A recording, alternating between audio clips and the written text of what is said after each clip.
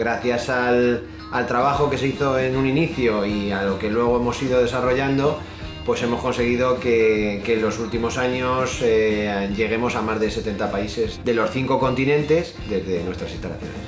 Sin saber inglés, pues me he recorrido todo el mundo. Claro, pues era complicado porque allí cogías un intérprete, pero cuando llegabas aquí con los contactos era muy difícil. Ellos iban a ferias, iban a, a eventos, pero luego no había un seguimiento. Había mucho interés por parte de clientes del exterior, pero al venir otra vez a fábrica ya se ponían con temas de producción, de el día a día y ese seguimiento se perdía. Eh, esos clientes siempre se van a ir al que le dé un seguimiento y hay muchos competidores.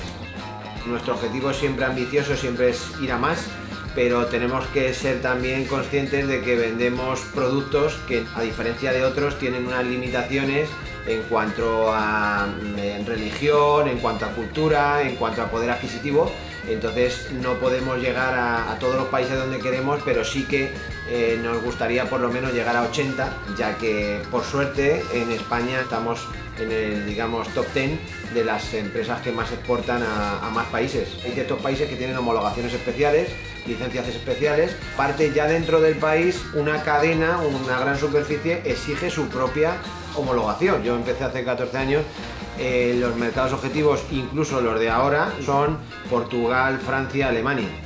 Eh, pero nosotros en ese momento no éramos o bien competitivos o a nivel de producción, precios y demás, y nosotros preferimos irnos a países donde la gente no le prestaba atención.